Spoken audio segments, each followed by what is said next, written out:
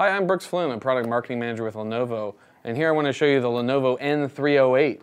Uh, so this is actually a 19 and a half inch Android all-in-one. Um, so this is a great device for the home. A lot of people interested in it, and the fact that it does everything people want from a home PC in terms of browsing the internet, being able to update social media with the Android apps, and really bringing the Android ecosystem into the home. It's a 1600 by 900 screen uh, and utilizes a two-finger touch interface. Um, so again, I can access the Google Play Store, pull down all of my information. Um, but unlike some all-in-ones, this one actually has a battery in it as well. So three hour battery life. So if it's in your kitchen, you want to take it into the living room while you're watching TV or move it from the office to another room, you've got that flexibility to carry it around and interact with Android in a much larger uh, interface than you normally have. Um, now this is running a Tegra 4 quad core processor and is available for $450 uh, currently, right now.